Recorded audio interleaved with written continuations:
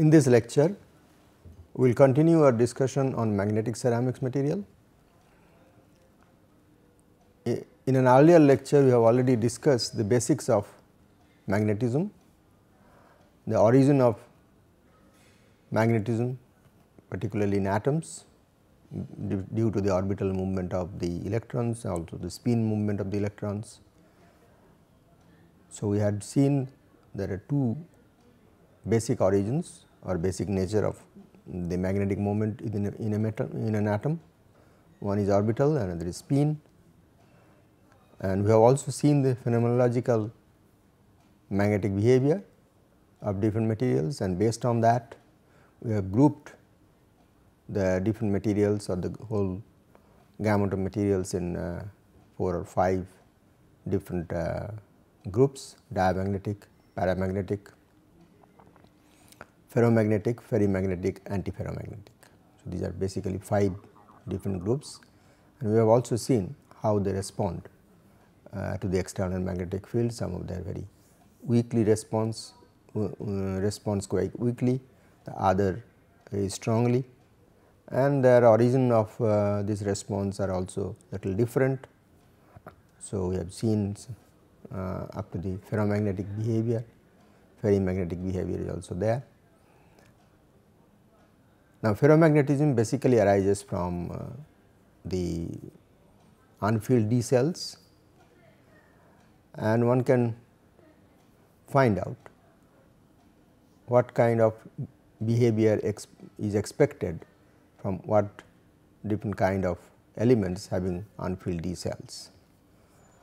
So, that is one of our first discussion in this lecture and therefore, we first look at the so called electronic structures which we have learned in the school chemistry. Uh, what is the distribution of the different electrons uh, in uh, uh the different elements particularly the transition metal elements having unfilled D cells. To start with the scandium which is uh, the atomic number is 21 and this is how uh, they are distributed and one can see the first one has to see in the last two columns. Uh, these are all 4 S 2 and one can see the D 1 keeping uh, D, D can have uh, over total number of 10 electrons. Uh, so, before D is filled up the S has been filled up and that is why it is called the unfilled D cells or D electrons uh, D uh, elements. So, in all these cases particularly this group we can see 4 uh, S is already filled up whereas D is slowly getting filled up from scandium to nickel. So, scandium has 21 electrons and this is 22, 23, 24. Iron has 26, cobalt 27 and nickel 28. Uh, one can remember that iron, cobalt, nickel are one of the strongest ferromagnetic materials. Whereas, uh, copper and zinc uh, once again is a filled D cell, but unfilled uh, S cell. Yeah. So, this is the distribution of the electron between D and S cell. So, that is one of the major uh, source or that is one of the causes of uh, strong uh, magnetism in some of these ions. Now, with this background we would also like to look at some other principle. Uh, this is called the calculation of saturation magnetization in ferromagnetic elements uh, and that is uh, Hund's rule. Some of these ions do give rise to ferromagnetism and uh, we have seen the D cell is slowly filled up from one electron here uh, to uh, nickel uh, which is about uh, 8 electrons uh, but what is the spin? Because we have also mentioned earlier that in all these cells unfilled D cells it is the spin magnetic moments which dominates. The contribution of the orbital magnetic moment is almost negligible. So, we are not so much concerned about the orbital magnetic moment in these in these cases. Our main concern is how the spin magnetic moment is behaving and how much it is contribution to the overall magnetism. So, here you have only one magnetic uh, one uh, electron in the D cell, then in titanium there are two electrons and uh, vanadium 23 has uh, 3 electrons, chromium have 4, manganese has 5 and then iron has 6 and so on. So, one thing you have to notice that is what we call the Hund's rule how the spin is getting arranged. There are two different spins half, half plus up and minus up. So, the first electron will have plus up and the second must have the minus half that is the normal expectation. However, in this case that is really not so and that is given or that is the uh, rule of Hund's. Uh, first of all, all the electrons still all they fell because you have 5 subcells, each subcell has uh, can accommodate 2 electrons of 2 different spins. So, if the second electron comes or is, is present there in titanium for example, uh, the spin will be the same as that of the first. Okay. So, it is not this electron will fill up the first subcell first and then go then the additional electrons will go to the next subcell. It is not so. Uh, so, till all the 5 subcells 10 electrons have been subdivided or grouped under uh, 2 each. So, you have 5 uh, subcells and then all the 5 subcells must be filled up with electrons of the same spin. So, these are this is if this is positive these two also will have positive the third electron will also have positive spin and uh, fourth electron and so on uh, till the fifth electron is added. Fifth electron is in the manganese. So, manganese have 5 D, D5 and all the 5 will be filled up first the, the same spin and sixth electron will fill up with a uh, reverse spin. So, in iron for example, the sixth electron d 6 this will have the same spin okay uh, sorry the different spin as in the first one and so on. So, the seventh one will have in the uh, second cell and third one will be in the third cell. So, this will have one kind of orbital moment uh, sorry the spin magnetic moment this will also have same, same spin magnetic moment in the same direction. So, up to the fifth up to d 5 the magnetic moment will increase and each magnetic moment if you remember our discussion earlier each electron will give rise to one Bohr magneton. Okay. This is gives you one Bohr magneton, this is another more two Bohr magneton, magneton and three Bohr magneton, four and five and so on. However, when we add sixth one then this will have a positive spin and this will have a negative spin and they will cancel each other. So, the resultant will be 4, 4 Bohr magnet. So, up to this the number of Bohr magnet number of electrons will increase with the same spin and therefore, magnet, magnetic moment will also increase and after that this will decrease. This will decrease. So, D 6 will have only 4 resultant Bohr magneton, D 7 will have 3 and D 8 will have only 2 right. There is no D 9 it will be after that after nickel actually it becomes D 10 both copper and manganese as you have seen earlier both copper and manganese actually D 10. So, there is no D 9 here okay, because uh, up to this this is uh, 4 S 2 and then once again it becomes 4 S 1. So, D 10 and 4 S 2 D 10. Okay. So, these are uh, basically supposed to be diamagnetic without any resultant magnetic moment.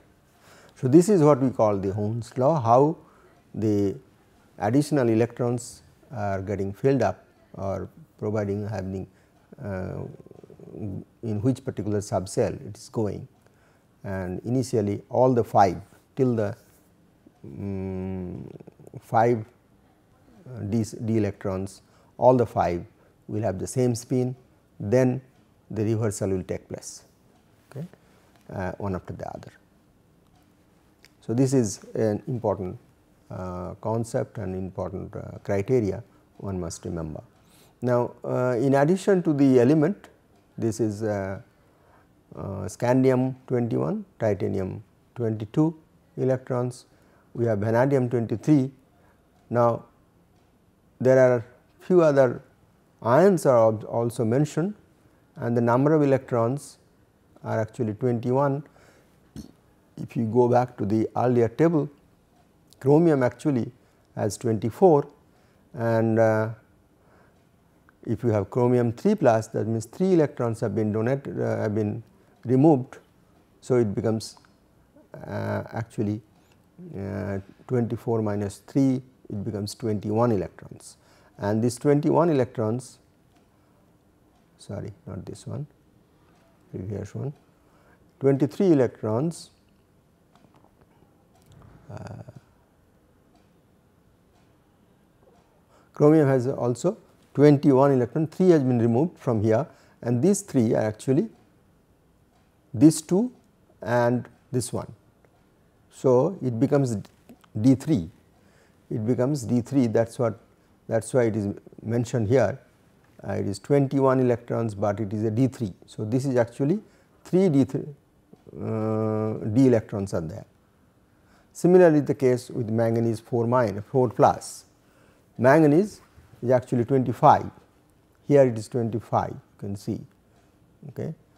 Uh, the element has a 25 electrons whereas 4 plus have 21 electrons and out in which you have 3 uh, 3d uh, 3d electrons okay. so it is a 3d structure and that is similarly here chromium the elemental chromium has 24 and it is a d4 configuration whereas Mn3 plus okay, Mn3 plus is also D4 configuration although it has only 22 electrons. Uh, manganese um, manganese basically 25 and 3 electrons are removed. So, it becomes 22 whereas if it is manganese 2 plus then it is 23 22 25 minus 2 20 23 and that is also have the same configuration of D 5 Fe3 plus is 23 electrons as such Fe is 26. So, if you remove 3 electrons becomes Fe3 plus and it becomes a, again a D5 T5 configuration. And that is how few more uh, ions have been mentioned. Fe2 plus also have the same. Fe elemental Fe and Fe2 Fe2 plus have the same configuration of D6 uh, that is clear from here this is uh, D 6. So, Fe 2 plus will these two electrons will will be uh, will go away. Uh, so, it will be D 6. So, uh, whereas copper 29 and uh, zinc 30 uh, completely filled cells, uh, whereas nickel 28 has D 2 uh, sorry it is uh, D 8 and this nickel 2 plus also same configuration. So, far as the D cell is concerned number of electrons will be different because S cell is S electrons are actually getting removed, uh, but the D cell configuration remains unchanged. So, this is a very very important con consideration when you are discussing about the magnetic magnetic moment of d cell electrons, uh, d cell atoms, unfilled d cell atoms. Here is a list from the based on that here is a list of uh, magnetic moments of isolated 3D electron elements and or ions. Uh, depending on the number of electrons available in the D cell, these are some of the ions scandium 3 plus is 3 D 3 uh, is a D 0 configuration. So, there is no magnetic moment. Uh, orbital magnetic moment as, as I mentioned uh, is not playing any role in this, it is only the spin magnetic moment which is important. So, it is the number of electrons in the D cell which uh, is of, of our concern. Uh, D4 uh, vanadium 4 and titanium 3 is 3D1 and uh, calculated moment magnetic moment is 1.73 by the formula which you have shown earlier that uh, mu b into uh, s into s minus 1. If you do that, that gives you this kind of a 1.73 uh, is the calculated value and the resultant and the experimental value is very close to that. Okay. So, it is 1.80. Similarly, vanadium 3 plus is a 3D 3D2 uh, configuration 2.83 is the calculated and the theoretical is 2.8 it is very uh, good agreement. V2 plus and chromium 3 plus is a D3 configuration. So, it is 3.87 and 3.80 this is the theoretically calculated value and uh, the actual measurement is 3.8. Manganese 3 plus and chromium 2 plus is D4, D4 uh, configuration and uh, 4.90 Bohr magnet. Remember these are 4.90 Bohr magnet mu b multiplied the actual value will be multiplied by the value of mu b. So, 4.9 multiplied by mu b. Similarly, it is exactly same 4.9 multiplied by mu b. Mn 2 plus and Fe 3 plus uh, 3 d 5 this is configuration this is 5.92 and 5.9. Iron 3 plus iron 2 plus okay. iron 2 plus is uh, 3 d 6 4.9. Now, 4.9 and 5.0 there is a slight difference here. Okay? It is not exactly same. So the reason uh, of course is uh, uh, different not from here but uh, is not too different. Okay?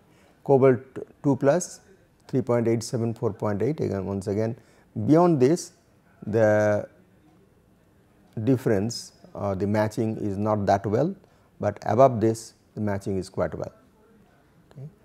So, it depends on the total number of electrons here beyond 3 d 5 the matching is not that good for example 2.83 and 3.2 copper 2 plus 3 d 9 and copper plus as well as zinc 2 plus uh, is 3 d 10 so 0 0 this is certainly quite uh, expected and that is what we get in the measurement uh, experimental measurement also.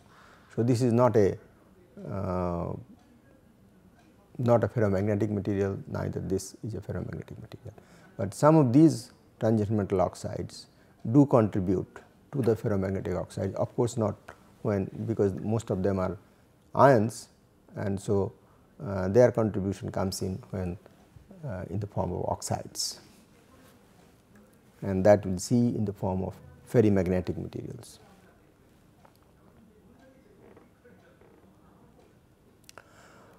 Well, uh, to continue our discussion on ferromagnetic materials, uh, we have seen that these three elements iron, cobalt and nickel are the strong ferromagnetic materials. Okay. Whereas, the other element in the transition metal although they have a uh, unfilled D cell um, and they are uh, they have their individual magnetic moments of the, each of the atoms, but the overall magnetic moment in the form of a solid in the crystal it is not that uh, strong and uh, that comes from the consideration of what we call the exchange energy term. It is uh, the exchange energy to explain magnetic ordering of this is called the Bethe-Slater interaction. So, it is the interaction between the atoms within a particular crystal structure depending on the d cell uh, diameter of the d cell that means the number of the d, uh, d, uh, d cell electrons and their arrangement and also the interatomic spacing interatomic spacing uh, between the two atoms. So, these are the two different parameters uh, which has a very important role in uh, uh, in actually providing the magnetic behavior uh, to explain the magnetic behavior of some of these elements not the oxides oxide will consider later. Uh, so, it is exchange energy term which is W W without going to the details of that.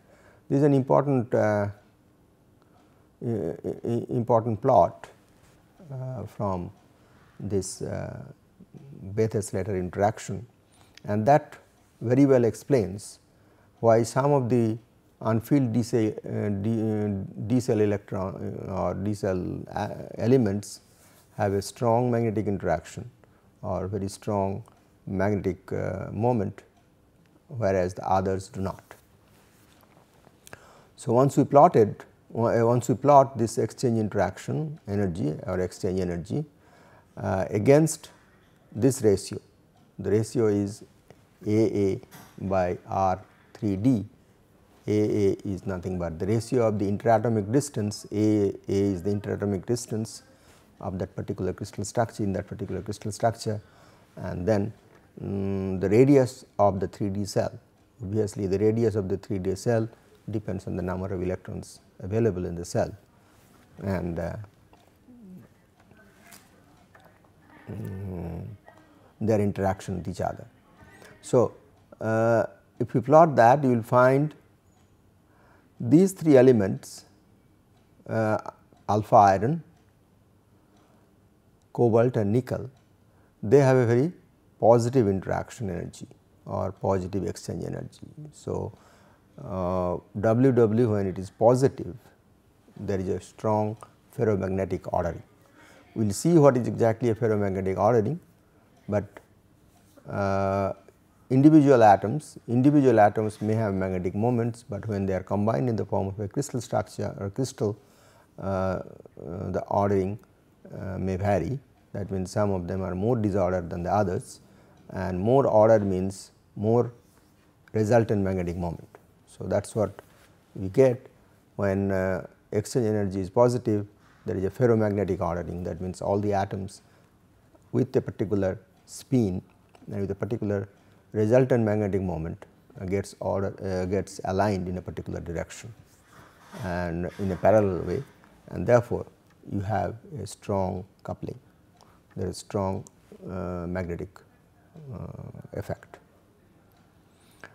If it is negative for example, manganese and chromium uh, although they have unfilled cells d electrons, but even then because of the exchange interaction is negative there is an anti-ferromagnetic ordering is prevailing. Okay. So, if it is less than 0 there is anti-ferromagnetic ordering and which neutralizes each other and therefore, the overall magnetic moment is uh, uh, almost nil. Here is some if it is very close to 0 W W equal to 0 small and this kind of material is basically uh, paramagnetic.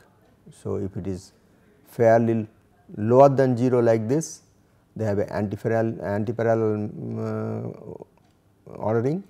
If it is close to 0 then it is paramagnetism there is a random random ordering and then if it is more positive then you have a ferromagnetic ordering or parallel uh, ordering parallel, parallel alignment. This is anti-parallel alignment, this is random and then this is uh, parallel alignment. We will see this little more clearly uh, later on.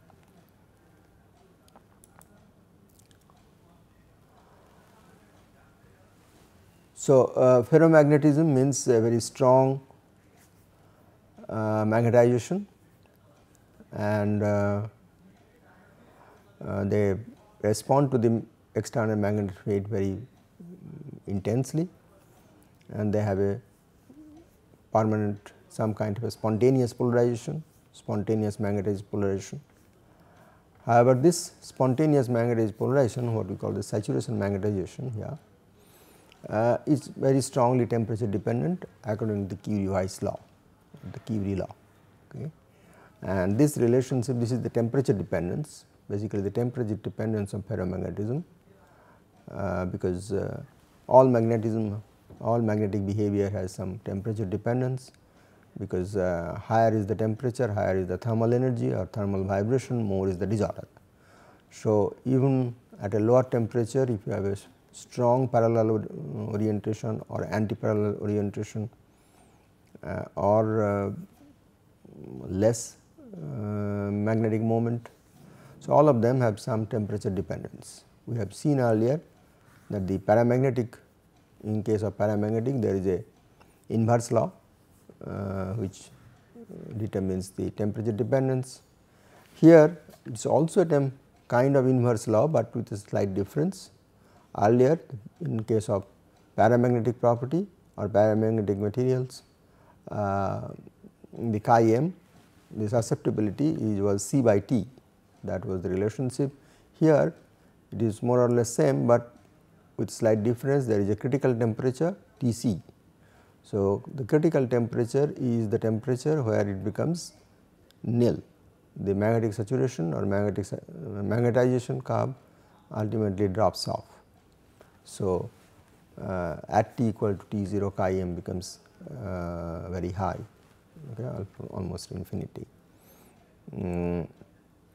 But otherwise if you plot the magnetization that is the saturation magnet maximum magnetization available from the material as a function of temperature we will see at room temperature uh, close to room temperature it does not uh, vary so much more or less remains constant. And then as the critical temperature is reached there is a this is the critical temperature the T c. As the critical temperature is the polarization or the magnetization drops off uh, quite suddenly uh, quite sharply. So, for nickel these are the three important ferromagnetic materials. Uh, one can see there is a critical temperature in each case uh, this temperature is slightly higher than uh, 1000 K, this is about 1400 K and this is around uh, 650, 650 K.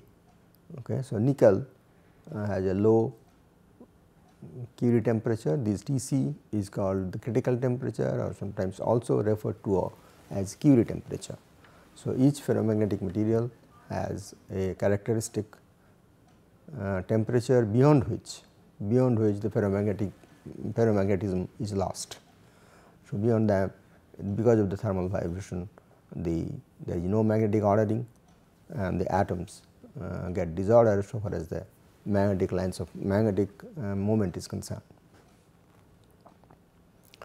So, uh, uh, cobalt has the highest Curie temperature about 1400 K, then iron is around uh, 1050 and this is about 650 okay 650 K. Uh, so, at lower temperature it is more or less constant and that is the reason it is called saturation magnetic saturation magnetic magnetization.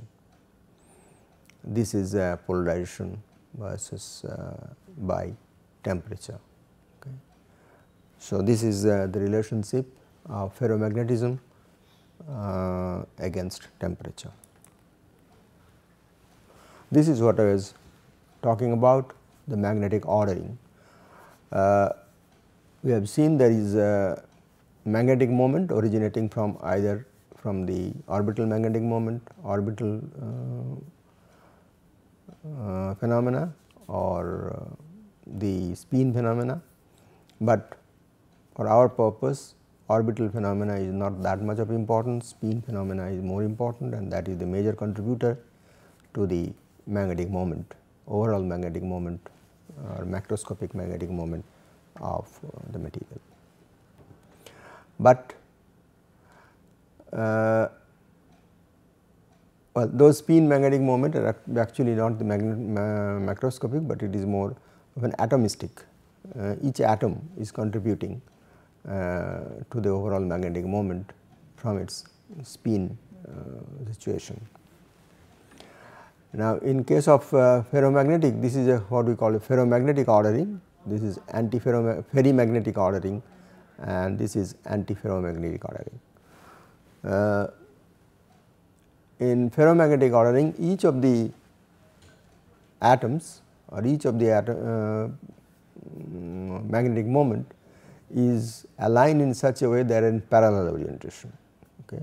We will look into this what exactly it means but there is a parallel all the uh, magnetic moment are parallelly oriented that means they are pointing out in the same pointing to the same direction and therefore an additive effect there is an additive effect. So, all of them actually combine combine to give you the macroscopic property. So, therefore, that is the reason why it becomes more strong it strongly it has a strong magnetic moment the overall magnetic moment resultant magnetic moment is very strong or very high and that is the reason the chi is also more than 1 and permeability is also very high permeability is certainly because of high because of this reason. If you have a antiferromagnetic ordering the last one in this case you will see it is the same thing, but each one has an opposite spin or each one has an opposite magnetic moment in their aligned in the opposite direction. And therefore, there is a cancellation. The overall magnetic moment of the assembly becomes uh, very close to 0 and therefore, it more or less so far as the permeability is concerned is more or less like a paramagnetic material. So, it is although individually individual element individual atoms has a strong magnetic mm, moment, but the overall resultant magnetic moment is almost 0 very close to 0 and that is why this antiferromagnetic um, property or antiferromagnetic materials are grouped with along with the paramagnetic materials. They also have the same thing, but for a different region they are because of the random more random nature or less uh, magnetic moment for individual atoms. Whereas, there is a ferrimagnetic ordering, there is another ordering which is mostly present in oxides, mostly present in oxides, uh, not in elements. This is also incidentally, this is also in oxides, primarily occurs in insulators and oxide insulators. This occurs primarily in metals and there is a requires free electrons in the conduction band. Okay. So, that is another requirement which gives rise to the strong parallel alignment. Now, in the ferrimagnetism is also anti-parallel very close to antiferromagnetism, but the in the two directions they are unequal, the magnitudes are unequal although their alignments are anti-parallel like antiferromagnetism, but the magnitudes are different and therefore, there is a resultant uh, magnetic moment. So, the downward directions are smaller whereas, the upward alignments or upward uh, oriented magnetic moments are larger and therefore, the, there is a positive uh, uh, positive resultant positive magnetic moment in a particular direction.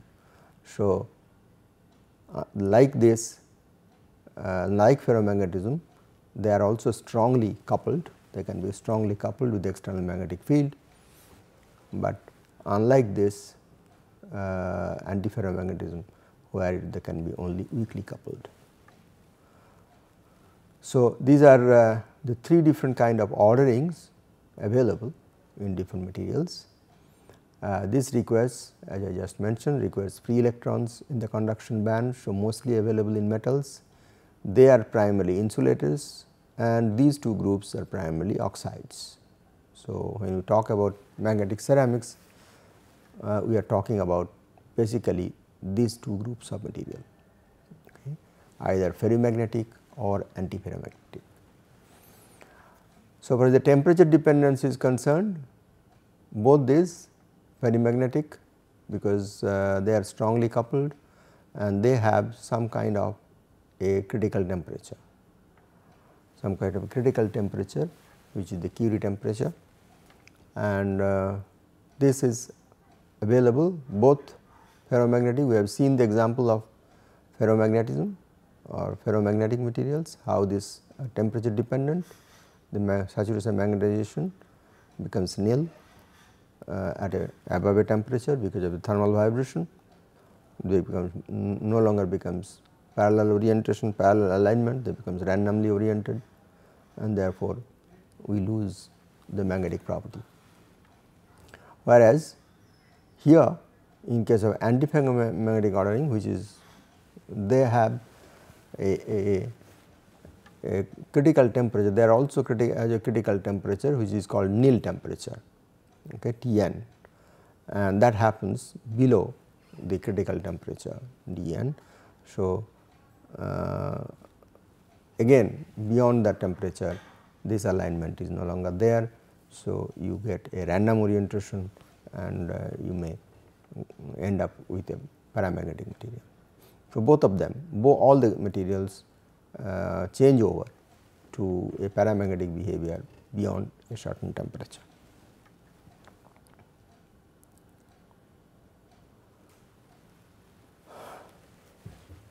This is a very important phenomena of uh, uh, ferromagnetic, ferromagnetic and ferrimagnetic materials. So, the characteristic hysteresis curves if we plot we have seen earlier for the para paramagnetic and diamagnetic there is a linear uh, magnetic material that means if you plot the magnetic induction or the magnetic polarization against H you end up with a linear relationship. Here particularly for these two groups of magnetic material uh, whether it is ferromagnetic or ferrimagnetic they have identical properties so far as the external magnetic field is concerned. So, when you apply an external magnetic field let us start from here uh, it has a nonlinear characteristics okay it has a nonlinear characteristics like this it goes to a saturation value a highest value which where it saturates the magnetic induction or the polarization gets saturated at a some value of external magnetic field. But then if you reduce if one reduces the magnetic field or reverses the magnetic field uh, it follows a different curve or different path. So, initially from 0 field it follows this red line and then takes goes to the blue line and it follows a different path altogether and even at 0 field when the in the reverse direction when the field is 0 you have a, a uh, value of the magnetic induction or polarization. So, the magnetic uh, the material is still uh, magnetized and you have a, a remnant magnetization, remnant flux density one can say remnant magnetization or remnant flux density. Uh, this is B r. So, uh, it does not come back to 0, it does not follow the original path. And then you need a additional uh, negative bias or negative field in the, in the opposite direction. You have to apply a field in the opposite direction to bring that value to the 0 value. And this uh, value of the magnetic field which is needed to neutralize the remnant flux density is called coercive field. Uh, these are all the terminologies which has also been used for ferromagnetic ferro, ferroelectric material. In fact, the ferroelectric have been uh, discovered much later than the ferromagnetic group of materials. So, ferromagnetism was known much earlier, um, but we have discussed in a reverse way. So, the in our discussion ferromagnetism comes later than ferroelectricity and that is why I am referring uh, to the earlier discussion of ferroelectricity. So, the origin is same the reasons of this kind of hysteresis loop or hysteresis uh, curve uh, are exactly same uh, and it follows uh, the similar pattern. Uh, and also terminologies are also very similar. In the case you have remanent polarization there here that was electric polarization here magnetic polarization coercive field in uh, dielectric material it was electric field here is a magnetic field. So, otherwise it is same and as you have as you have discussed in case of dielectric material it is basically uh, this kind of a hysteresis curve or um, the origin of the coercive field or the origin of the remnant field, remnant flux density, remnant polarization is primarily because they have a domain structure.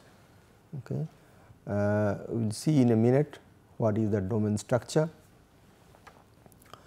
Uh, so, that domain structure changes from 0 field to higher field okay.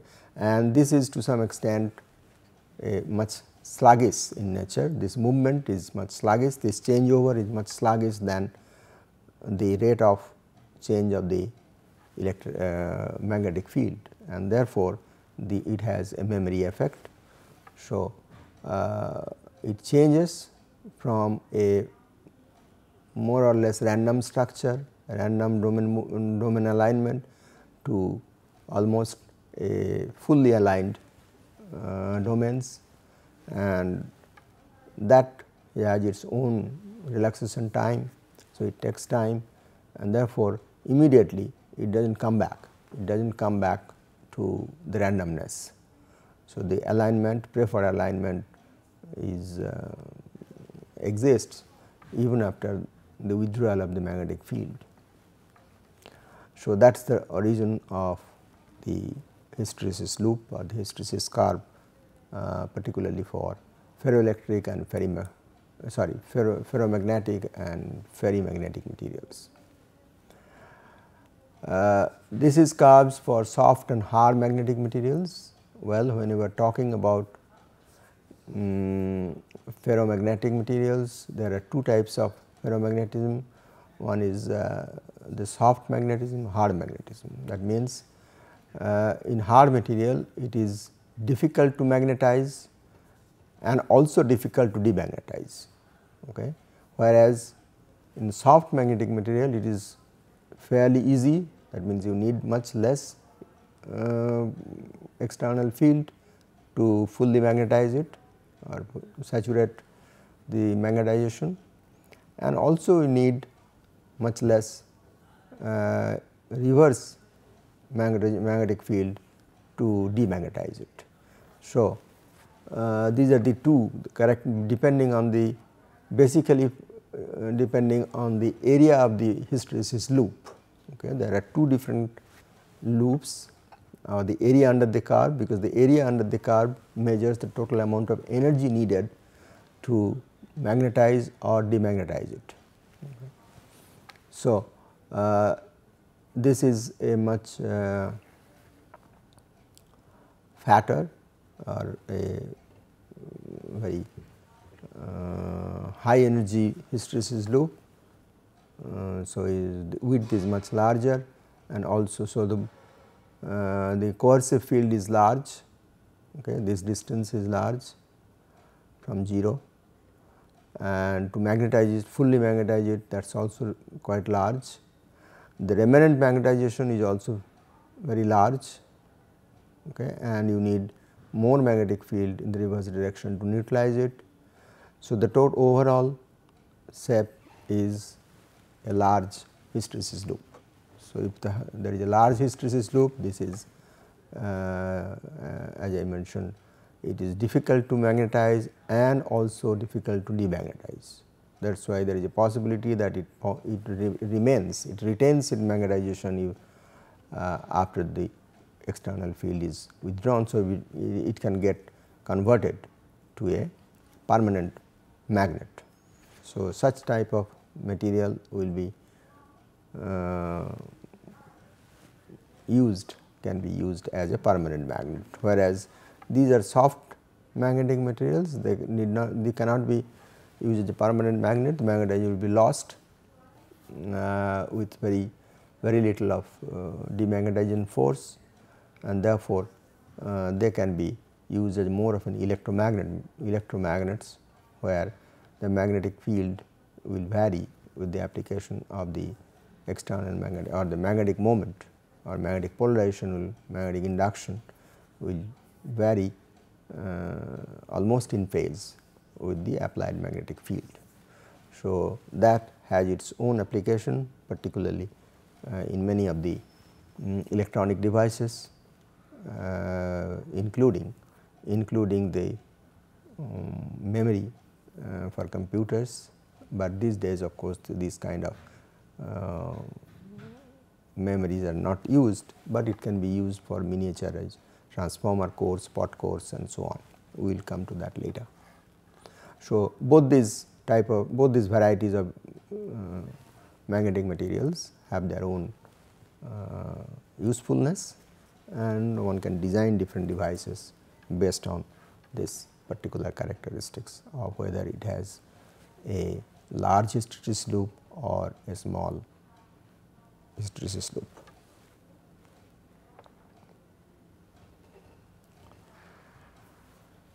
Well, this is an example uh, we are talking about the antiferromagnetic material and this is anti, uh, a, an example of antiferromagnetism. Uh, it was also mentioned that some of the oxides do have this property and this is an example of manganese oxide MNO which is having a sodium chloride structure and uh, these are these positions of the uh, manganese and oxygen ions. Uh, these are a cubic symmetry, X, uh, closed packed X cubic symmetry.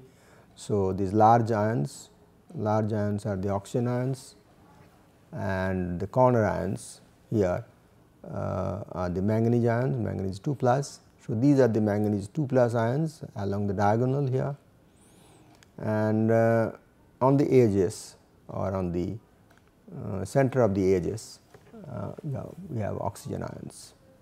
Of course, it can be in our uh, it can be reversed also reversed in the sense it can be drawn basically it is the same distribution, but it, the unit cell can be drawn either with the cation at the cube edges uh, cube cube uh, corners or oxygen at the cube corners both uh, the systems uh, are equivalent basically. So, uh, these are uh, the manganese ions and these are the oxygen ions. Using the so called Hund's rule, we can find that each manganese ion has a positive magnetic or strong magnetic moment. Okay. Each positive each manganese ion has a strong positive moment, uh, magnetic moment uh, and therefore, they are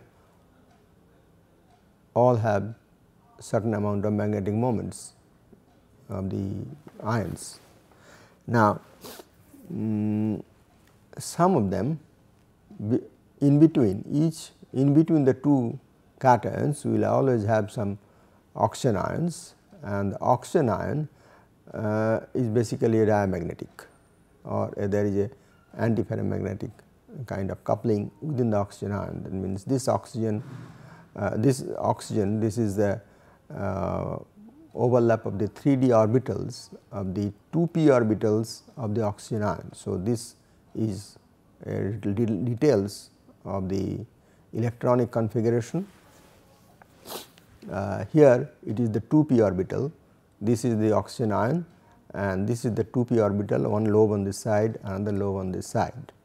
These are the orbitals of the D shell of the manganese ion, manganese 2 plus ions So, you have uh, uh, 4 orbitals and there is always the structure is such that there is an overlap between the 3d orbitals of the Mn 2 plus and 2p orbitals of the Mn of the oxygen 2 minus gives rise to antiparallel alignment. Well, we are not going to the details why exactly it happens, but this much information is uh, acceptable uh, I mean okay for our purpose that that uh, this overlapping this overlapping of the orbitals gives rise to the antiparallel alignment antiparallel alignment of the neighboring Mn2 plus ions. This is Mn2 plus ion one Mn2 plus ion here and another Mn2 plus here we have oxygen in between. So, because of this overlap this is directed in this particular direction towards front whereas this towards back. Okay. So, the next one all these this particular set of Mn ions Mn2 plus ions are all directed uh, I mean uh, alternate ones alternate ones are directed uh, to the different directions. Okay. So, these are actually uh, d 4 electrons and these are the um, there is a exchange of electrons here. Okay. So, this Mn 2 plus and this Mn 2 plus are directed in two different directions. This is the basic reason and because of this you have a antiparallel orientation and it is called the antiferromagnetic materials although the individual cations have a strong uh, magnetic moment.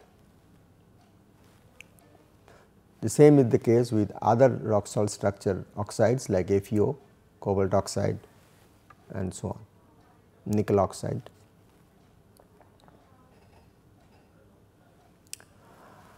The antiferromagnetic materials also have they are strongly magnetic material, but uh, sorry they weakly magnetic material they are weakly magnetic material and they behave some kind of a paramagnetic way. Uh, this is another picture, another uh, picture giving rise to the uh, orientation. As you can see if this if you look at this uh, layer of atoms each one of them neighboring ions have a different orientation. These are of course oxygen ions. These are again uh, manganese ions oriented in opposite directions and so on and there is a temperature called Néel temperature antiferromagnetic ordering takes place uh, at a temperature below the te Néel temperature here. This is the Néel temperature and uh, the ordering is lost due to thermal vibration at temperature greater than uh, Tn. So, very similar to Tc in case of uh, in ferromagnetic material the Curie temperature you have a Néel temperature and then the ordering can be or the temperature dependence can be expressed in this manner uh, C by T minus theta. Theta of course is this one. Sometimes it is also written as T plus Tc where Tc is the negative value and it is called the Tn. So, the, this is the Curie-Weiss law with negative Curie temperature it is called negative Curie temperature that is this one. Okay but if you take T n it becomes T plus T n. So, that is uh, the characteristics of the antiferromagnetic oxides particularly the oxides with rock salt structure. Well, we complete uh, this discussion here because next discussion will be on a separate group of uh, group of materials that is called ferrimagnetic materials which are actually the most important group of magnetic ceramic materials and they have enormous application potentiality.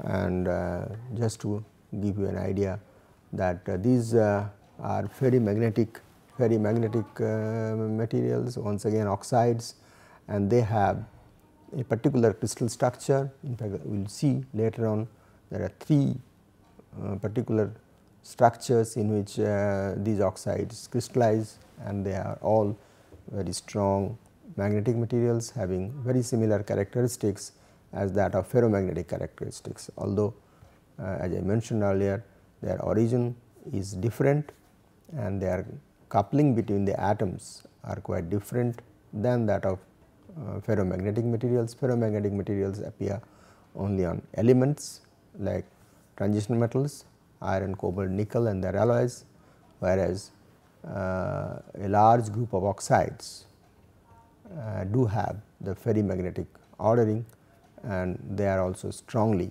magnetic materials with tremendous application potentiality. We will discuss further about these materials in, uh, in greater details in the next class. Thank you. Thank you for your attention.